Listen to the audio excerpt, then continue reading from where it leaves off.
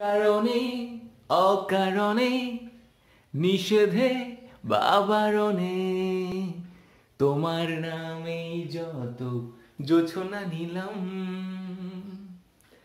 না, গান তো শোনাবো না, ওটা অন্যদিন হবে। আজকে আমরা পড়াশোনা করছি এবং পড়াশোনা নিয়ে রয়েছি পার্ট টু নিয়ে এসেছি সাবজেক্ট ভার এগ্রিমেন্টে তো গান তো আছেই, আমি তো জানোই মিউজিক খুব ভালোবাসি। তো দেখে নিই সাবজেক্ট ভার এগ্রিমেন্ট পার্ট টুতে আমরা কি কি রুলস দেখছি? তো যারা প্রথমবার দেখছ চ্যানেলটি অবশ্যই সাবস্ক্রাইব করবে এবং যারা নিয়মিত দেখছ, তারা এন্ড পর্যন্ত দেখবে যাতে পুরো রুলসগুলো তোমরা দেখতে পাও। তো দেখে নাও সাবজেক্ট যদি infinitive gerund verbal noun noun case ইত্যাদি হয়, তবে তার ভার্বের সিঙ্গুলার বসে, তার ভার্ব সিঙ্গুলার ফর্মে বসে। কীরকম? দেখো, এখানে আমি আলাদা করে মেনশন করেছি ইনফিনিটিভ আমি কিন্তু অলরেডি নন ফাইনাইট গ্রুপটা ডিসকাশন করেছি। তোমরা পূর্ববর্তী ভিডিওতে গেলে দেখতে পাবে, সেখানে নন ফাইনাইট ক্লাসিফিকেশনে আমি ইনফিনিটিভ জিরাইন পার্টিসিপল নিয়ে আলোচনা করেছি। তার সঙ্গে ভার্বাল নাউনটা এখানে অ্যাড হয়েছে, দেখো। ভার্বাল নাউন হলো it is a gerund preceded by the and followed by of it is just a gerund preceded by the and followed by of তো আমরা দেখে নিই, এইগুলো যদি এক একটা সাবজেক্ট হিসাবে ইউজ করা হয়, তাহলে তার যে ভার্ব সেটা সবসময় সিঙ্গুলার হয়। তো চলো দেখে নিই number one to walk is good for health to walk this is infinitive তুমি ঠিক বলেছ। ইনফিনিটিভ যদি সাবজেক্ট হয়, তাহলে কিন্তু আমরা সিঙ্গুলার সেটাকে ট্রিট করছি। তাহলে আমরা দেখলাম কি ইনফিনিটিভ যখন সাবজেক্ট ভার্ব হচ্ছে সিঙ্গুলার নেক্সট দেখো জিরান্ড লাইন, মিথ্যে কথা বলা। লাইন ইজ এ সিন মিথ্যে কথা বলা একটি অপরাধ। তাহলে এখানে মিথ্যে কথা বলার অর্থাৎ এখানে জিরানটা যদি সাবজেক্ট হিসেবে ইউজ করা হয়, তাহলে কিন্তু ভার্বটা হচ্ছে সিঙ্গুলার নেক্সট দেখো, যদি ভার্বাল নাউন ইউজ হয় সাবজেক্ট হিসেবে the winning of India the winning of Indian team was excellent এখানে ওয়াজ হচ্ছে কেন? কারণ এখানে আমরা একটা ভার্বাল নাউনকে সাবজেক্ট হিসেবে ইউজ করেছি। নেক্সট দেখো, আমরা যদি নাউন কেস অর্থাৎ একটা নাউনের মতো নাউন কেস করে থাকি, যেটাকে যদি সাবজেক্ট হিসেবে ইউজ করে থাকি how he escaped is still a mystery সে কীভাবে পালিয়েছিল, সেটা এখনও একটা মিস্ট্রি তো এইরকম ভাবে আমরা কিন্তু সাবজেক্টের উপর নির্ভর করে যদি সেটা ইনফিনিটিভ জিরাট এবং ভার্বাল নাউন বা নাউন কেস হয় তাহলে কিন্তু তার ভার্বগুলো প্রতি ক্ষেত্রে দেখে নাও সিঙ্গুলার সিঙ্গুলার সিঙ্গুলার এটা কিন্তু তোমাকে মনে রাখতে হবে।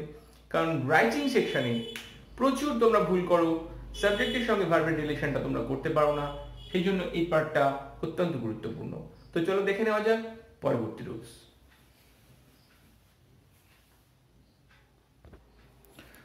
চলো দেখে নেওয়া যাক রুলস নাম্বার সিক্স সিক্সে বলছে সাবজেক্ট যদি একাধিক বস্তুকে একসঙ্গে বোঝায় ভার্বটি কিন্তু সিঙ্গুলার হয়।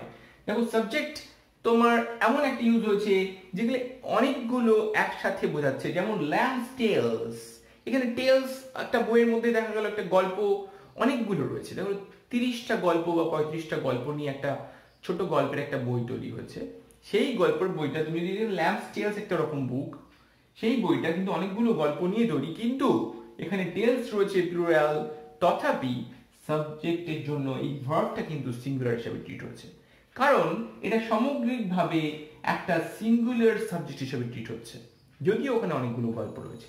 তাই এরকম যদি কোনো নাম থাকে যেটা যদি একাধিক বস্তুকে একসঙ্গে বোঝাচ্ছে, তাহলে কিন্তু ভার্বটি অবশ্যই সিঙ্গুলার করতে হবে। যেমন ধরো অ্যারাবিয়ান নাইটস এখানে এস রয়েছে, এটাতেও এস রয়েছে, কিন্তু তুমি প্লুরাল করতে পারছ না। এখানে কিন্তু ভার্বটাকে তোমাকে সিঙ্গুলার করতে হচ্ছে।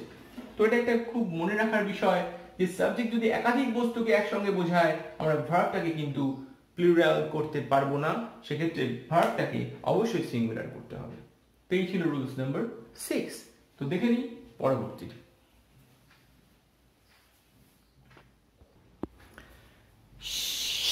চলে এসেছি রুলস নাম্বার সেভেন নিয়ে। দেখো বলেছে এই রুলসটাতে স্পেশালি প্লুরাল সাবজেক্ট যদি নির্দিষ্ট অ্যামাউন্ট অর কোয়ান্টিটিকে বোঝায় সাবজেক্টিভ প্লুরাল কিন্তু সেটা একটা নির্দিষ্ট কোয়ান্টিটি আর অ্যামাউন্টকে ইন্ডিকেট করছে, এরকম যদি সাবজেক্ট থাকে, তাহলে কিন্তু ভার্বটা আমরা সিঙ্গুলার করব। যদি সেটা অনেকগুলোকে বোঝাচ্ছে একসাথে। অখণ্ডভাবে বোঝাচ্ছে। দেখো প্লুরাল সাবজেক্ট যদি নির্দিষ্ট অ্যামাউন্ট ও কোয়ান্টিটিকে অখণ্ডভাবে বোঝায়, তবে তার ভার্বটি সিঙ্গুলার হয়। যেমন সিক্সটি মাইলস দেখো তুমি দেখেই বলতে পারছ এখানে সিক্সটি মাইলস মানে অনেকগুলো মাইল একত্রিত হয়ে হয়েছে সিক্সটি মাইলস তো সিক্সটি মাইলসটাকে তুমি যখন সাবজেক্ট বানিয়েছো, তাহলে ভার্ব কি করবে? এখানে কিন্তু ভার্বটা করতে হবে। Is is a good stance not আর এখানে কিন্তু সবসময় সিঙ্গুলার কারণ সিক্সটি মাইলস একসাথে অখণ্ডভাবে একটা দূরত্বে, একটা দূরত্বের পরিমাণকে বোঝাচ্ছে। কতটা দূরত্ব? সিক্সটি মাইলস তখন ওটা সিঙ্গুলার হয়ে যাচ্ছে। কিন্তু অনেকগুলো মাইল সেখানে জুড়ে গেছে। কিন্তু তবুও ওটা এখণ্ডভাবে যদি যেহেতু একটা দূরত্বকে বোঝাচ্ছে এই জন্য ওটা হয়ে যাচ্ছে সিঙ্গুলার দেন দেখো five hundred rupees five hundred rupees is a big sum এখানে কিন্তু আর করা যাবে না। অনেকগুলো রুপি থাকলেও এস রয়েছে, দেখো। কিন্তু তবুও আমরা এটাকে একটা বিগ অ্যামাউন্ট কোয়ান্টিটি একটা বিগ অ্যামাউন্টকে বোঝাচ্ছে, যাই ওটা সিঙ্গুলার হয়ে যাচ্ছে। এবং ক্ষেত্রে আমরা ভার্বটাকে কিন্তু সিঙ্গুলার করছি। তো এইরকম কিছু সাবজেক্ট তোমরা পাবে। আমি জাস্ট দুটো এক্সাম্পল দিলাম, এরকম প্রচুর তোমরা পাবে প্র্যাকটিক্যালি তুমি যখন গ্রামার সলভ করবে, পরীক্ষা দিদি fill in the blanks with verbs মাধ্যমিকে অবশ্যই আসে, উচ্চ মাধ্যমিকেও আসে এবং বিশেষ করে ক্লাস ফাইভ টু টুয়েলভ যারা প্রত্যেকে পড়াশোনা করছ এবং এরর কারেকশন চাকরির পরীক্ষার জন্য যারা পড়াশোনা করছ, তাদের ক্ষেত্রে এগুলো কিন্তু অত্যন্ত গুরুত্বপূর্ণ এবং মনে রাখার মতো বিষয়। কারণ তা না হলে তুমি কিন্তু কমপ্লিটলি কারেকশন করতে পারবে না এবং ভার্বটা সঠিক বসাতে পারবে না। তো অখণ্ডভাবে কোনো কোয়ান্টিটি অ্যামাউন্টকে বোঝালে সিঙ্গুলার ভার্ব নিয়ে সিঙ্গুলার ভার্ব চলে আসি পরবর্তী রুলসে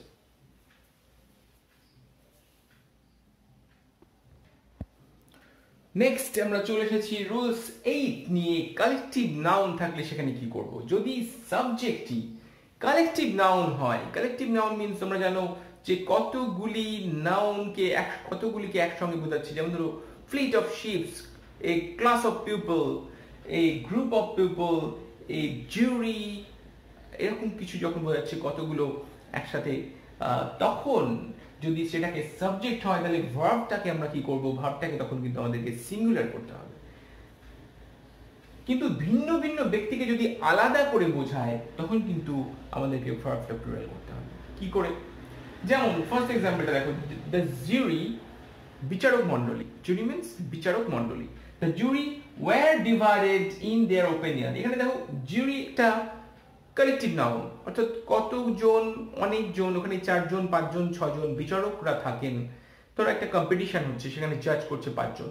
তাহলে দ্য জুরি তার প্রত্যেককে ভিন্ন ভিন্ন মত প্রকাশ করল। কেউ বলল, আমার এটা ভালো লেগেছে। কেউ বলল, ওটা ভালো নয়। কেউ বলল, আমার ভালো লেগেছে। তো এরকম যখন ডিভাইড হয়ে যাচ্ছে, তাদের ওপিনিয়নটা মতামতটা ডিভাইড হয়েছে তখন কিন্তু আমরা সেটাকে আলাদা করে প্লিউরাল করে ফেলব। কিন্তু যদি এই জিউরি একটা নির্দিষ্ট মতামত দেন, তখন ওটা সিঙ্গুলার হয়ে যাবে। তেমনই আমরা নেক্সট এক্সাম্পলে সেটাই আমরা দেখব।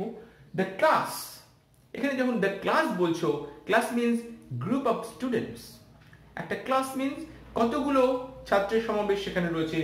দ্য ক্লাস কনসিস্ট তাহলে এখানে যখন পুরো ছাত্র ভর্তি একটা ক্লাসকে ইন্ডিকেট করছ একটা কালেকটিভ নাউন দিয়ে সেটা কিন্তু সিঙ্গুলার হিসেবে ট্রিট হচ্ছে এবং সিঙ্গুলার যেহেতু ট্রিট হচ্ছে, এখানে কিন্তু এসিএস যুক্ত হয়েছে ভার্বের সাথে।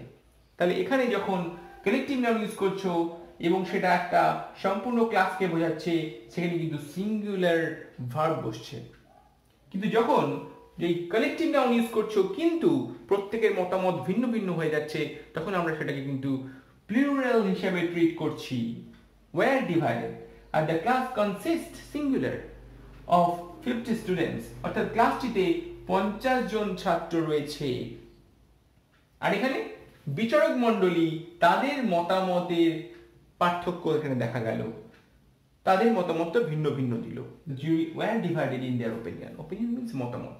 তো এই জন্য এই রুলস আর বলে দিই। কালেকটিভ নাউন সাবজেক্ট হলে ভার্ব সিঙ্গুলার হয়, এটাই ন্যাচারাল কিন্তু ভিন্ন ভিন্ন ব্যক্তিকে যদি বোঝায়, যেটা এক্সাম্পলস প্রথমেই রয়েছে, তাহলে কিন্তু ভার্বটি প্লুরাল করতে হবে। ন্যাচারালি আমরা কালেকটিভ নাউন হিসাবে যদি কোনো সাবজেক্টকে বসাই, তখন আমরা সিঙ্গুলার ভার্বই বসাবো। কিন্তু ব্যতিক্রম এটা তোমাকে আমি বলে রাখলাম, যাতে তুমি বুঝতে পারো যে ক্ষেত্রে তোমার ভার্বটি কিন্তু প্লুরাল করতে হবে। তো এটা খুব একটা গুরুত্বপূর্ণ একটা অংশ, যেটা আমরা প্রায়ই ভুল করে থাকি তো এই ধরনের ভুলগুলোকে এড়ানোর জন্য এই রুলসগুলোকে মনে অবশ্যই রাখতে হবে। এবং আরেকবার বলে দিই যে, চ্যানেলটি অবশ্যই সাবস্ক্রাইব করবে, কারণ সাবস্ক্রিপশন সম্পূর্ণ ফ্রি।